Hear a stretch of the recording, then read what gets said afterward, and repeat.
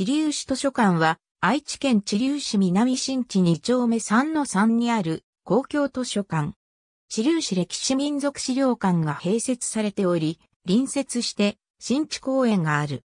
2016年度の図書館費は7083万円であり、図書購入費は1677万2000円だった。2016年度末の蔵書数は22万6321点。2016年度の入館者数は23万7756人。2016年度の貸出数は41万6549点だった。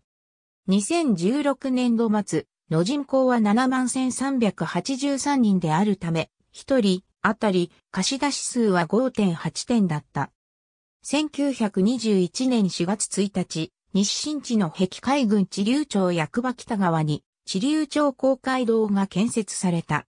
交通支便な地流駅の近くにあった地流町公会堂は木造平屋建てであり、ホール、応接室、小会議室の3室からなる当時としては斬新な建物だった。敷地面積は647平方メートルであり、建物面積は495平方メートル、収容人員は300人だった。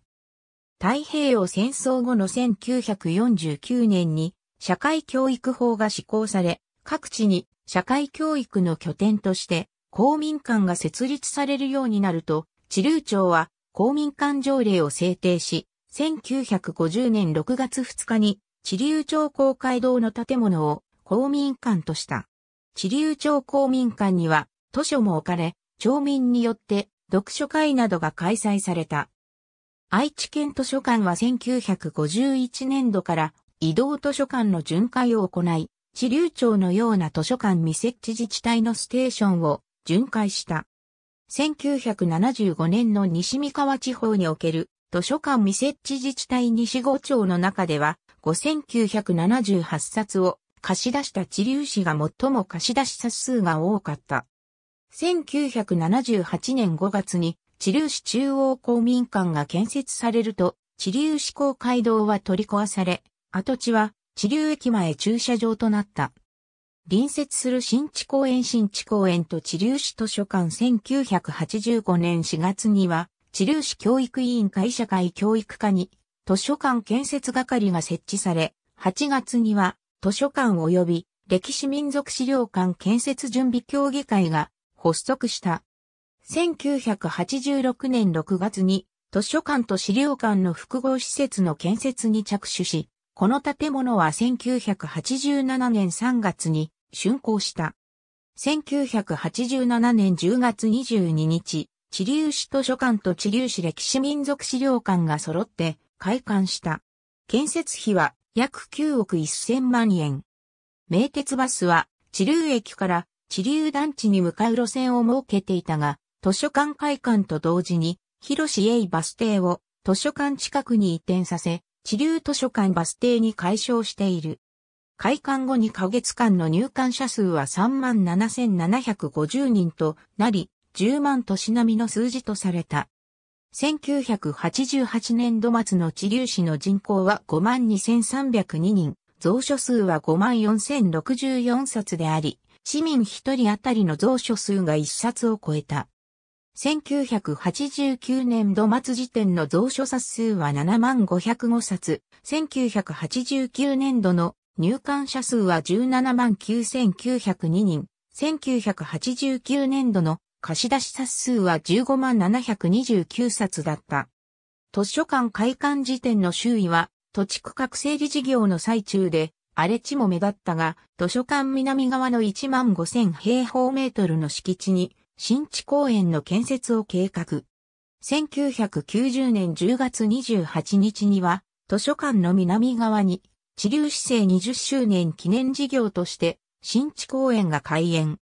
開園記念イベントとして、CBC テレビ、お祭りだから全部アイドルの公開録音などが行われ、崎浜さゆり、藤井和子、西村智美が来園した。1992年度末には、蔵書数が10万冊を超えた。1993年2月には、愛知県図書館とコンピュータで結ばれた。1999年5月には、延べ入館者数が300万人を突破した。2004年3月にはインターネットによる蔵書検索サービスを開始した。2006年2月には DVD の貸し出しを開始し、2007年4月には乳児へのブックスタート事業を開始した。2008年度には蔵書数が20万冊を超えた。建物の正面玄関を入るとロビーがあり、治療士の花である柿つばたをデザインした吹き抜けの大壁画がある。ロビーから見て、右手が治療士図書館、左手が治療士歴史民族資料館である。図書館に入ると左側に受付カウンターがあり、カウンターの正面には一般図書、右側には自動図書がある。ロビーから階段を上がると2階にも図書館のカウンターがあり、2階にある特別閲覧室、郷土参考資料室、視聴覚室の利用案内を行っている。郷土参考資料室には、秋田病院初代解説者の秋田正明から寄贈された秋田美智子文庫がある。開館から3年が経過して、蔵書冊数が増えたことから、1990年10月には貸し出し冊数を3冊から5冊に増やした。1991年6月には、夏季の3ヶ月間の開館時間を9時から17時から9時から18時に変更した。1992年度からは祝日も開館することとし、同年8月には延べ入館者が100万人を突破した。1995年4月にはビデオコーナーを設置し、貸し出し対象者を治療士在住、在勤、在学者のみから壁介護士在住、在勤、在学者に拡大した。1999年9月には開館時間を平日は9時から19時、休日は9時から17時に変更し、AV 資料の貸し出しを開始、また、豊田市在住、在勤、在学者にも貸し出しを開始した。2010年4月には、館内での視聴覚資料の利用を中止している。2014年6月には貸し出し冊数を10冊までとするサービスを施行し、10月には正式に貸し出し冊数を10冊までとした。ありがとうございます。